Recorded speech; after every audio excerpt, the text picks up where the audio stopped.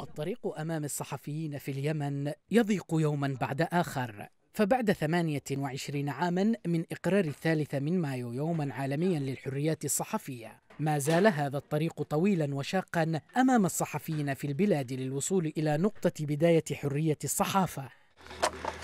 كثيرة هي العقبات والتحديات في طريقهم إذ يفقد الكثير من صحفيي اليمن أرواحهم ثمنا لإيمانهم بالحرية والتعددية واستهدافهم لا ينحصر فقط على نقاط التماس في المعارك بل تتعداها للاستهداف المباشر والاعتقالات إلى منازلهم والاعتداءات الجسدية والتهديدات اليومية.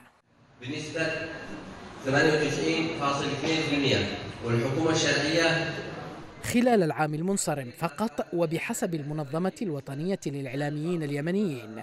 فقد تم رصد ما يزيد عن 4300 حالة انتهاك طالت الصحفيين والعاملين في وسائل الإعلام اليمنية. جاء في مقدمتها الانتهاكات التي طالت الأفراد بعدد 31 تلاها الانتهاكات التي طالت المؤسسات والوسائل. أما الجهات المسؤولة عن حالة الانتهاكات فتوزعت بحسب التقرير على سبع جهات رئيسية. جاء في مقدمتها جماعة الحوثي بمسؤوليتها عما يزيد عن أربعة آلاف ومئتي حالة انتهاك والحكومة الشرعية بمسؤوليتها عن أربعين حالة.